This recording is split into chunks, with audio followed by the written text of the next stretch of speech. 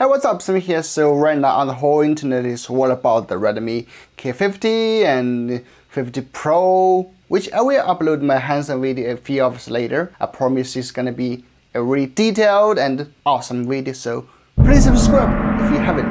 But you know, alongside these two phones, there's this Redmi K40S, which is a really undervalued phone and according to our hands-on, this is such a good value phone and it has one good feature that both the Redmi K50 and 50 Pro don't offer. First things first, start with the specs. The Redmi K40S has a 6.67 inch E4 AMOLED with a refresh rate of 120Hz and a Full HD resolution. The chip is Snapdragon 870 and the battery is 4500 mAh, which is pretty much identical to the K40, but the K40S has faster 67 watts charging over the 33 watts of the old phone. The front camera is 20 megapixel, while the back is 48 megapixel main plus 8 megapixel ultra wide camera and a 2 megapixel macro unit. The camera supports 10 times digital zoom, it's stable as you can see, and it supports up to 4K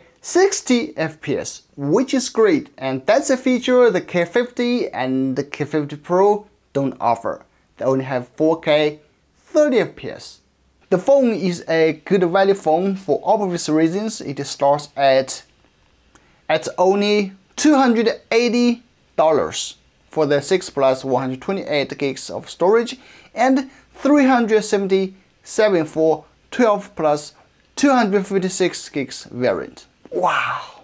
Alright, that's the video. Please subscribe to my channel for the next K50 and 50 Pro video. I'm Sami, I will see you in the next one.